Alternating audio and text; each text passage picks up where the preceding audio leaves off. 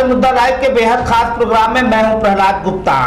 वाराणसी के तहसील में उस वक्त हड़कंप मच गया जब सरकारी कंपनी के निजीकरण के विरोध में वाराणसी सदर तहसील पर सरदार सेना का जोरदार प्रदर्शन, साथ ही यूपी में खराब कानून व्यवस्था और बेरोजगारी के खिलाफ सैकड़ों लोगों ने तहसील को घेर कर नारेबाजी की। देखिए हमारी खास रिपोर्ट। केंद्र सरकार द्वारा देश के सरकारी कंपनियों, संपत्तियों के निजीकरण के खिलाफ तथा देश के युवा बेरोजगारों व सरकार के किसान विरोधी नीतियों के खिलाफ सरदार सेना सामाजिक संगठन द्वारा आज वाराणसी के सदर तहसील का घेराव किया गया।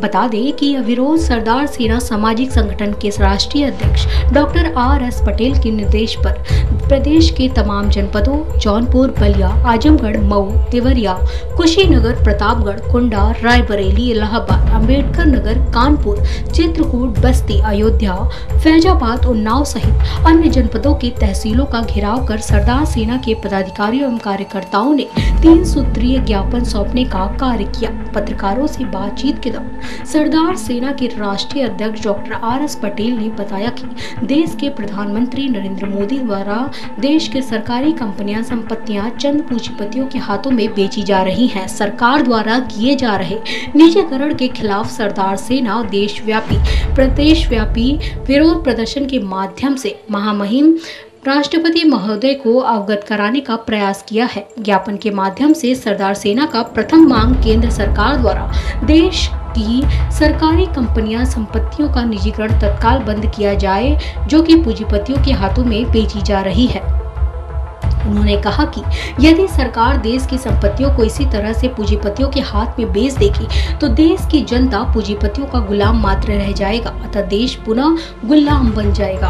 अतः सरकार के देश विरोधी नीतियों पर तत्काल अंकुश लगाया जाए, ताकि देश को पुनः गुलाम होने से बचाया जा सके। यदि सरकार के इस मनमानी पर रोक नहीं लगाया गया तो सरदार सेना सामाजिक संगठन द्वारा पूरे देश में आंदोलन किया जाएगा, जिसकी सारी ज़िम्मेदारी केंद्र सरकार की होगी। इस अवसर पर सरदार सेना के राष्ट्रीय सचिव सुधीर पटेल, प्रदेश महासचिव व संगठन मंत्री सुरेश वर्मा, महिला संघ की प्रदेश सचिव अंजू बाला पटेल, पूर्व जिलाध्यक्ष बाल किशन पटेल, जिला अध्यक्ष अशोक पटेल, नगर अध्यक्ष सुब्रत कुमार, युवा जिलाध्यक्ष डॉक्टर आर के आदि उपस्थित रहे।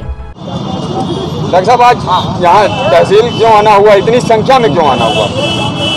सबसे पहले आप पत्रकार साथियों को बहुत बहुत धन्यवाद। आज केंद्र और प्रदेश की भारतीय जनता पार्टी सरकार युवाओं के विरोध में काम कर रही है, किसानों के विरोध में काम कर रही है, महिलाओं के विरोध में काम कर रही है। योगी सरकार के शासन में पूरा गुंडईगिरी है। आप देख लीजिएगा उठा के, रोज बलात्कार हो रहा है। आज आने का मूल तीन मांग लेके आया हूँ। पहला, पूरे भारत में मोदी ने कहा था 2014 में कि हमारी सरकार बना दो, हर साल दो करोड़ युवाओं को सरकारी नौकरी देंगे। कहा था कि नहीं कहा था? लेकिन लेकिन 20 करोड़ से ज़्यादा छह सालों में मोदी ने नौकरियाँ देश से समाप्त कर दिया। तो नौकरियों की मांग करने आया हूँ। दूसरा दूसरा, रेलवे, सेल, भेल NTPC coal, railway station, airport, पूरी देश की सरकारी संपत्तियाँ निजीकरण करके बेच दी जा रही हैं। उस पर सरकार को कमांड किया जाए और सरकार निजीकरण बंद करे, देश की व्यवस्था बेचना बंद करे। देखिए भाई, एक लाइन की बात बता रहा हूँ आपको। मोदी सरकार का बिगड़ेल बेटा का नाम ले ले रहा हूँ। एक परिवार का एक बाप बड़ा अच्छा काम किया, बहुत मेहनत करके घर द्वार बनाया, लेकिन मोदी जैसा बेटा मिल गया, नालायक बेटा तो उसने किया क्या? जो देश की संपत्तियाँ बनाई गई थी, वो विदेश में जाके मज़ा लेता है और देश की संपत्तियाँ बेचता है और विदेश में जाके एंजॉय करता है। उसके खिलाफ हम लोग निकले हैं कि देश की संपत्तियाँ बेचना बंद करो। तीसरा विषय है, आपको पता है कोरोना काल में यह स्थापित हो गया छह महीनों में कि पूरे देश की व्यवस्था, अर्थव्यवस्था चौपट हो सकती है। लेकिन कृषि एक ऐसी व्यवस्था है जिसके कारण लोगों का पेट चल सकता है, वह घाटे में कभी नहीं जा सकता। तो पूंजीपतियों के सहारे चलती है सरकार। जो मोदी सरकार है, वो आपके लिए पूंजीपति कि किसानों को ही गुलाम बना लिया जाए, ताकि ये कभी माइनस में तो जाएगा ही नहीं। तो निजीकरण किसानी का न हो एमएसपी गारंटी लागू हो और किसान विरोधी बिल वापस हो, उसको लेकर के सरदार सेना ने आज पूरे उत्तर प्रदेश के सभी तहसीलों का घेराव किया है। आज इसी क्रम में मैं सदर तहसील पे आया हूँ।